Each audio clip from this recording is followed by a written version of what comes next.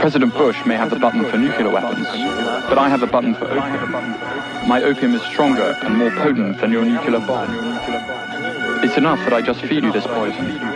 Why should I do anything else? I really sold a brick by the finger. I really did. And once you suck my dick, bitch, don't you dare to linger. Come around me. Breaking down the block, I'm a Glock gripper. Had my shooter shoot a shot, he a block spinner. Dog food for the plays, I got him they dinner. Doing shows out of state, we hop in a sprinter. Feed the family, need a Grammy for this vivid art. And even the plan B includes us living large. This shit lethal, Vin Diesel, rip a man apart. And for my people, I get evil with a frozen heart. Stay in your lane, there's less traffic there.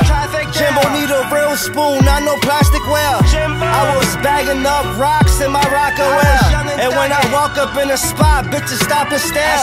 One of my favorite zincs died and I almost cried. Gave him his last fix, you fuck with my mind. To catch a thief, you must use a thief. You have to be the opium king. Why don't you approach the king?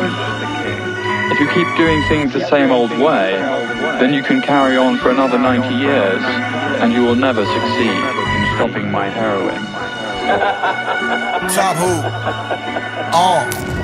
Top of the top. I'm in the building getting top at the top. Old heads and they feelings, they ain't stopping the guap. Ops can't get close to me, they know I walk with a Glock. Bagging dope like groceries, the fiends stopping the shop. Count that knot before I peel off. Niggas said it's all there, but it fell off. My old junkie took a year off. Tried to come back strong and died, that was a real loss. Dog. Now his son looking much older and much colder. Since his dad died, his strides been much bolder. Dope in his hand, spoon in the cup holder. Syringe in his arm is leaving him slumped over. Got stories like this for days. I could go on and on. I'm trying to change up my ways and put it on a song. I used to wake up neighbors, set off call alarms, letting it bomb in my Sean John on dogs. What is your message back to American mothers who might say, Khun Sa, stop killing our children? You come and tell us, don't grow opium. Do you think we are your slaves? If we don't grow opium, we cannot eat. My people don't know it's sold to America. All they know is after they sell the opium, they have money to buy grain.